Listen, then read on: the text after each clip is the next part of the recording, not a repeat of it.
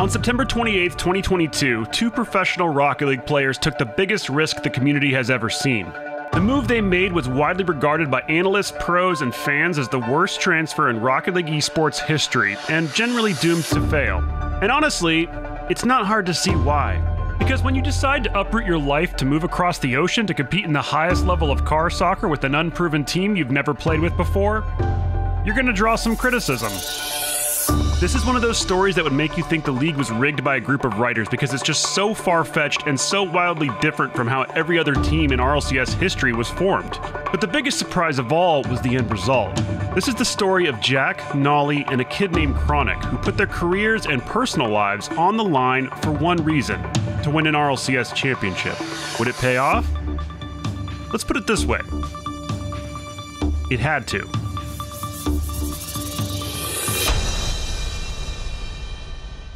The 2022 2023 RLCS season was about to begin, and for many players, it represented a fresh start. This was especially true for Noly and Jack, two English players who had seen some success the previous season, but had both come up short in different ways. Jack was coming off a season with Dignitas that had plenty of highs, but ended with quite a low. Club move on! Dignitas are out! Unfortunately, the team didn't end well. Bombed out of Worlds after the wild card in, in last place. Noly had just been kicked from Karmine Corp, despite making strides and getting decent finishes at LANs. I, like I am a little bit salty because uh, they removed me. They told me that they just had different plans, which is which is fair. Both players were looking for a new team, and both players were running out of time with the end of the transfer window approaching rapidly. It was very stressful. I wasn't sure if I was even going to carry on competing because I didn't know if I was going to end up on a team at all. So when Noly reached out to ask Jack if he wanted to team up and start looking for a third, Jack didn't hesitate. So I just agreed without trying out. The two would begin their journey in the new season together. But this would be no ordinary season for the Europeans. Gen G Esports had come calling. I wanted something different, something fresh. But playing for the org would require a move to North America, not just playing in a different league than they were used to, but also physically moving to another continent. Not to mention, they still needed a third player. Because of an unfortunately timed vacation, Jack was unable to fully dive into the search required to find the right teammate. We couldn't try out a third, we didn't have time. Left with no other choice, the duo made a huge gamble. That gamble was Chronic. I've wanted to go pro since I was 13. I was kind of like considered an up and comer, but not on level of like Firstkiller. Other pros have hyped him up, they just never really gave him too many chances. I had no idea who he was, so I went and watched some replays from Chronic of his final split last season, and it was just, it was like this, this kid's just incredible. Mechanically, very gifted, but also like how intelligent he was. And we decided to just properly give him a shot without even trying out. Jack just DM me on Twitter, be like, "Yo, we're planning on moving to NA. You'd be our top priority. Would you be interested?" It like completely caught me off guard because I didn't even though they were moving over, I didn't know they were like looking at me, and I was like, "This is a really good opportunity. I'm ready to commit." The thing is, I didn't know what to expect fully out of Chronic, because I, I had never spoken to him before we teamed. Chronic himself said he's really bad in tryouts, so he's really glad that we didn't try out as a team. And I just said, "Yeah, if you guys want to come over, I'd join right away." Needless to say, the move was controversial. People definitely thought that like this team is not going to work. People saying, oh, the move won't work out, the move won't work out, this is a terrible move, stuff like that. Downgrade for Noly or whatever. Kind of expected it. Like they were two pretty established players, and everyone considered me a pretty underwhelming third. We weren't no BDS, we weren't no much like we weren't like the best players on the best teams in our own region, and Chronic was sort of unknown as well. So people thought it was a stupid move. There was one hater in specific, which was Rapid. You know, he he sent me a message on Twitter. He was like, you know, if you manage to get top 10, I'll I'll retire and go pro in Fortnite or something like that.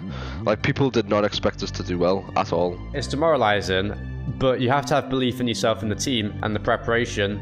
I would I didn't really take it to heart what people said. I had faith in myself and had faith in them. I'm sure it would have been nice for Jack, Noly, and Chronic to immediately shut down the doubters, burst onto the North American scene, and prove everyone wrong. But unfortunately, life isn't always nice. The team began their journey in the Fall Open qualifiers by getting swept by Complexity, swept by FaZe, and 3-1 by NRG. It must have taken everything for the intrusive thoughts to be kept at bay at this point in these guys' minds. That was probably my worst performance ever, and, and it was really bad. It, it was pretty bad how we played in that qualifier. I was pretty worried. It was quite scary. Um, I was like, okay, this move maybe isn't good. You start to doubt it, and it's like, this is scary. Maybe people were right. Maybe I was wrong. What are we going to do? moving to the US, easily the biggest risk of my life. I've got no family out there. I've got no close friends. I know nobody. It's a whole different way of living. It's it's such a big gamble. We didn't know how hard the NA competition was going to be. We didn't know if we'd, we'd suck and lose straight away. But there was still hope after day one.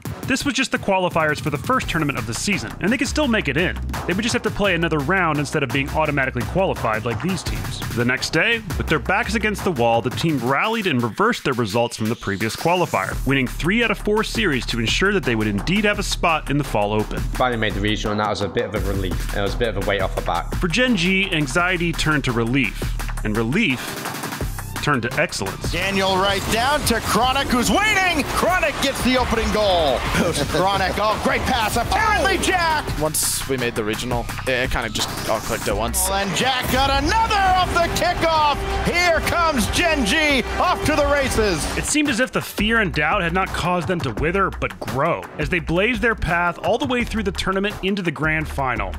But when they got there, FaZe Clan was waiting, and victory over this team was a little too much to ask. Defend, missed, feels the ball away, puts one on oh. target, Noly gets beat. Boot, so great Oh. defense, great redirect. Reason FaZe wants to score one more.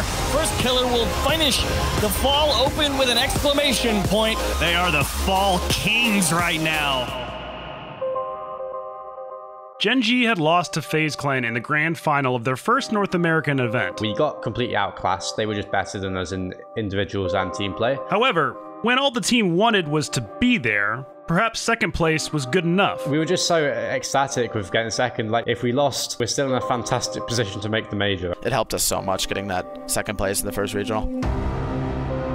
Two weeks later, in the second tournament of the season, the Fall Cup, the attitude of good enough no longer applied for Gen G. They had proven they belonged in North America with their first tournament, but now they wanted more. Mixed results on day one meant they had a low seed for the playoffs in the last days of the event, which means they had to play the team they could not beat, FaZe Clan. But this time, things were different. A new level of confidence and determination emerged, and at last Gen G had taken down its foe. And when they beat SSG in the semifinal, it really felt like everything was coming together.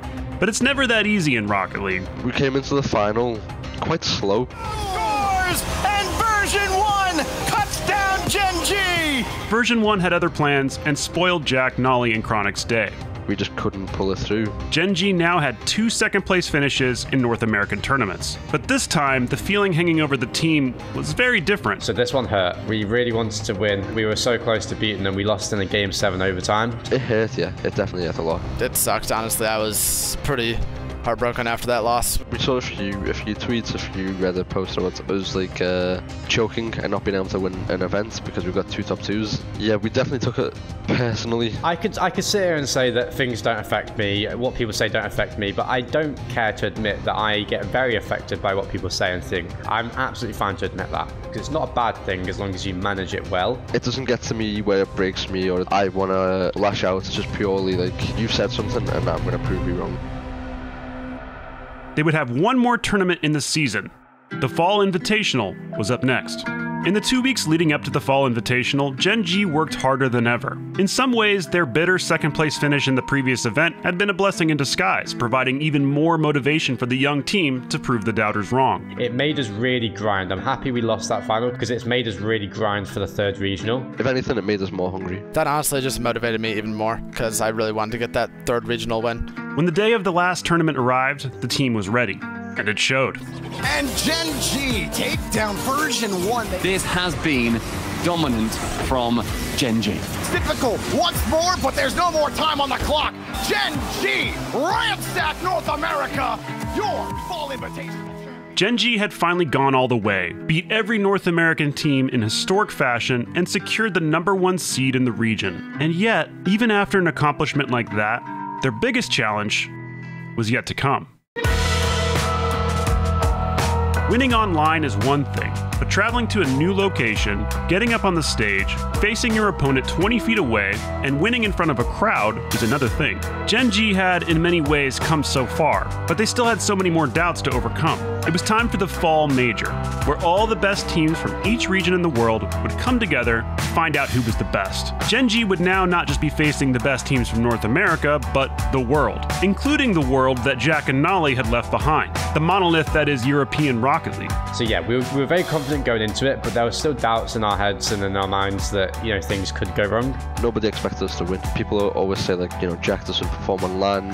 Um, Chronic is not going to perform because he's new. You know, we had natural doubts whether we could play well on LAN. As the team's most outspoken and most active content creator, Jack felt the pressure or at least was more aware of the pressure than anyone. On top of that, Jack felt the pressure of going 0 for 2 in his previous LAN experiences. People say, and, and to be honest, it was true that I'd never really played well on LAN before, and that was going getting into my own head. So I had to overcome those little kind of you know, mental factors for myself to play well on LAN. But there was no hiding from the fact that their biggest risk of all was totally new to the LAN world. Chronic had barely played in RLCS, much less at a LAN. I kind of had a lot of pressure on me as like the new kid. I wanted to perform with them because I was obviously kind of like the odd one out. They were already two established pros. They've been at LANs. They were at Worlds. So imagine how this young team felt when on day one they went cold. Maybe that comes in off the crossbar and it goes 1 0 oxygen. This one is only finishing now. We're reaching zero seconds, but in truth, there's Noly can't quite sink that flip reset. It's been over for a very long time. It was embarrassing. They have Joreuz on that team, Joreuz, my former teammate. Archie was my friend. You really want to beat your friends. You really want to beat your former teammates. That's always the case. It wasn't a close series at all. We got completely outclassed. Oxygen had outscored Gen G 13 to 1, nearly a perfect sweep. In their entire journey so far, this was the team's lowest point. Jack, Noly, and Chronic had been swept by Jack's former teammate, and it may have felt, in that moment, like it was all a huge mistake. We looked really bad. I looked really bad, and I was like, maybe I can't play well on LAN. Maybe everyone's right. I was in my own head completely after the series. We all were. It was a super down time for the team. It's amazing how you can have success after success after success, yet one failure at a LAN can feel like it was all for nothing. But it's in those moments that you find out who you really are. We had to fix it up. It's simple as that, you have to, else you're gonna lose, you're gonna regret it. So when the team woke up on the last day of the tournament and found themselves in the final playoff bracket, they were ready to discover for themselves what they were really made of. Noly and Chronic woke up with a really good mindset, especially Chronic. I was still quite down the following day, but they picked me up and made sure I was okay. In the next series, I played, you know, really well, and we did as a team too. It's not just about playing the game. Mentality takes up about 80%. It wasn't easy, but Noly, Jack, and Chronic blocked out the uncertainty and doubt and took control of their own fate that day. I woke up on the final day and I was like, we're winning this event. We're not losing. I don't feel as losing to any team today. As they sat up on that stage, taking down elite team after elite team on Championship Sunday, propelling them to a grand final, they were no longer thinking about how far they'd come, how many ups and downs they'd had, and they were certainly no longer thinking about the doubters. A whole lot of EU pros start this weekend have said they left, they ran away from Europe because they can't compete here. They're trying to prove everybody wrong by winning on EU style. In that moment, they focused purely on themselves and what they needed to do to accomplish their goal. Same for Gen G. Oh, what a pass!